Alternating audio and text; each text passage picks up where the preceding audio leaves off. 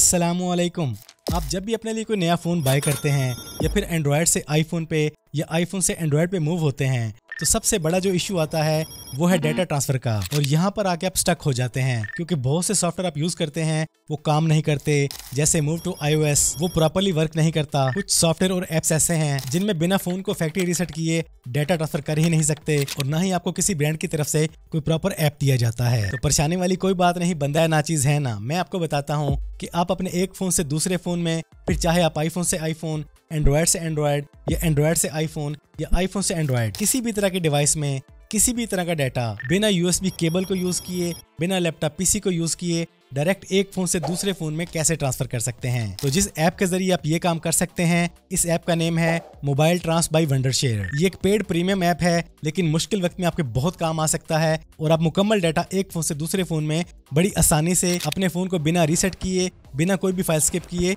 Easily transfer कर सकते हैं। तो इसका लिंक आपको डिस्क्रिप्शन में मिल जाएगा। चलिए चलते हैं मोबाइल स्क्रीन पर और जानते हैं कि आप बिना यूएसबी केबल बिना लैपटॉप के अपने एक फ़ोन से दूसरे फ़ोन में डाटा ट्रांसफ़र कैसे करेंगे। तो वंडर शेयर मोबाइल ट्रांस को इंस्टॉल करने के लिए दिए गए लिंक पे क्लिक कर लें या फिर गूगल के प्ले स्टोर एप्पल के ऐप स्टोर में आ जाएँ। यहाँ पे टाइप करें वंडर शेयर मोबाइल ट्रांस आपके सामने ये ऐप आ जाएगा। इनसे इंस्टॉल करके ओपन कर लें। बॉटम पे आपको मीक आइकन नज़र आएगा। इस पे क्लिक करें। यहाँ पर प्रीमियम और बेसिक दोनों प्लान मौजूद हैं। जो भी आप बाय करना चाहते हैं बाय कर लें और बाय करने के बाद आपने उसी आईडी से लॉगिन कर लेना है। लें जी, मैंने अपनी सेम आईडी से दोनों फ़ोन में लॉगिन कर लिया है। इसके बाद आप आ जाए फ़ोन ट्रांसफ़र पर। यहाँ पर आपको फ़ोन टू फ़ोन ऑप्शन मिलती है आई कलर टू एंड्रॉइड और व्हाट्सएप ट्रांसफ़र की ऑप्शन मिलती है। तो हम अपने एंड्रॉइड के डाटे को आईफोन पर ट्रांसफ़र करने के लिए क्लिक करेंगे फ़ोन टू फ़ोन यहाँ पर आपको मजीद तीन ऑप्शन मिलेंगी। आप एंड्रॉइड से एंड्रॉइड एंड्रॉइड से आईफोन या आईफोन से एंड्रॉइड जिस पर भी डाटा ट्रांसफ़र कर रहे हैं वो ऑप्शन आपने यहाँ से चूज़ कर लेनी है। तो हम करते हैं एंड्रॉइड टू आईफोन देन आप क्लिक करेंगे बेसिक डाटा पर। तो हमारे फ़ोन में मौजूद तमाम फोल्डर्स हमारे सामने आ जाएँगे। एक बार मैं आपको गैलरी भी दिखा देता हूँ। ये देखें।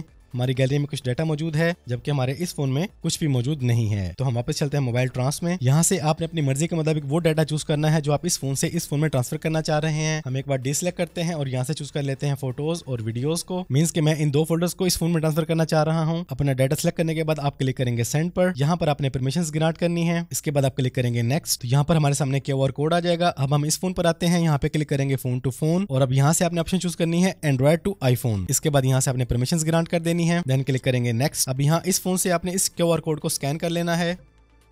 ज्वाइन नाउ और ज्वाइन पे क्लिक करते ही हमारा डाटा ट्रांसफ़र होना स्टार्ट हो जाएगा। और चंद ही सेकंड्स में, चंद ही मिनट्स में हमारा कंप्लीट डाटा ट्रांसफ़र हो जाएगा।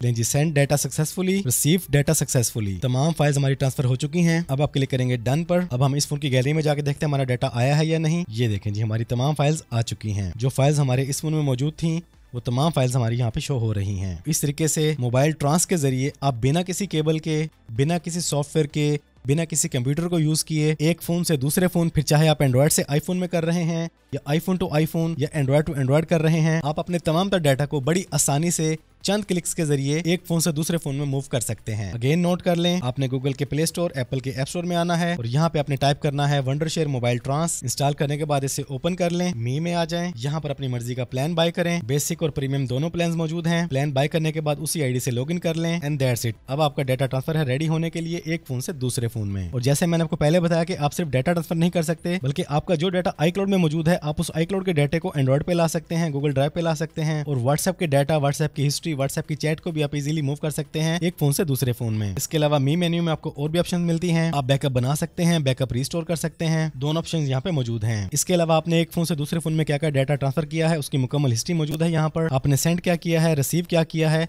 मुकम्मल डाटा आपको यहाँ पे मिल जाएगा। तो वंडर शेयर मोबाइल ट्रांस को आज ही डाउनलोड करें इंस्टॉल करें और ट्राई करें। तो इस तरीके से आप वंडर शेयर मोबाइल ट्रांस के ज़रिए अपने एक फ़ोन से दूसरे फ़ोन में फिर चाहे आपके पास कोई भी ब्रांड है, कोई भी मॉडल है, आप हर तरह का अपना फ़ोन डाटा अपने व्हाट्सएप का बैकअप बड़ी आसानी से मूव कर सकते हैं। वो भी बिना लैपटॉप पीसी और किसी भी तरह के यूएसबी केबल को यूज़ किए। Wonder share mobile trans convenient है इजी है फास्ट है सिक्योर है। तो इसका लिंक आपको डिस्क्रिप्शन में मिल जाएगा। आज इसे डाउनलोड करें इंस्टॉल करें और ट्राई करें। वीडियो पसंद आएगी तो वीडियो को लाइक और शेयर कर दें। चैनल पर पहली बार आए हैं तो चैनल को सब्सक्राइब कर लें। बेल आइकन पे क्लिक कर लें। ज़िंदगी रही तो फिर से मुलाकात होगी। असलकम